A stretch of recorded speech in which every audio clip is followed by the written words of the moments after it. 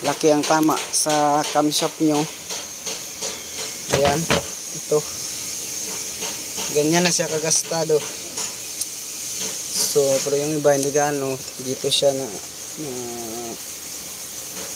diri siya kuan malala sobra. So mao tong atong gipalitan o crank shop so ayan. So karon naman ako uh, hinlo sa pisa. Ako na lang gitaod ang kuan mga parts oil seal. Yung mga gasket ayan ang mga nilang mga, yung mga bagong nga gasket so yung bagong nga cylinder head gasket mo ni. So kompleto ni. Ang akong ipalit nga kuan uh, mga gasket. Kuan na siya sip na. Sa overhauling gasket good kay mas makatipid ka kaysa isa-isa.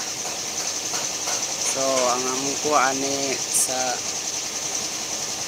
overhaul overhauling kit kuan uh, nasa 1.8 lang. So pwede pa ninyo tawaran. So mao ni ang yang cylinder head. Okay na nataod na ang valve seal tanan ready na lang na isalpak. So kanina lang ang kuan black accessories sa ako nang pang taod so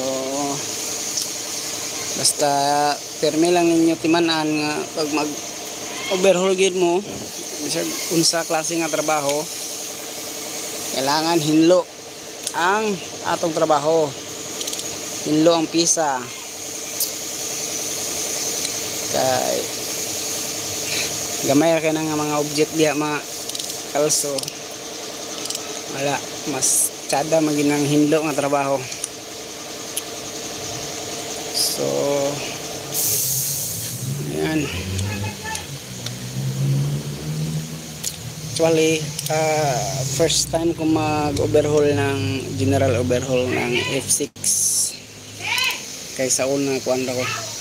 Tap overhaul ako sa una. Sa F6 so karon ka general overhaul gid ko. So kadalas kadalasan man gud ang akong pang overhaul mga dagko ng mga truck. Mga heavy mga heavy duty heavy na mga makina so okay so ayan lang muna siguro yung ating Margo lang sa siguro na akong pakita sa inyo. So mao ni akong sit up sa piston. La tanan aro tubang dito sa tubangan. So ayan. Ito luma pa yan, papalitan pa yan ng bagong oil filter. So So ay kalintinin ninyo. O gusto gid mo hinlo nga trabaho gamit mo tisyo tisyo yung gamit ng mechanics ha?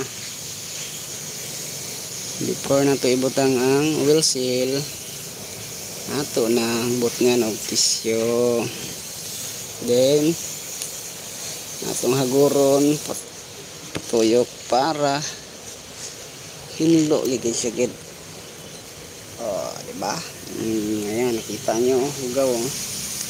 So, mulang katsada sa tisyo ang gamit. Kay, kuha yung hugaw. So, maulang sana siguro mga kamikaniks. Okay. See you for my next vlog. Thank you for watching.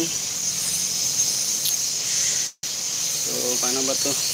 First time ko pa kasi magani mag live. So share na natin to. Share. Mm, new speeds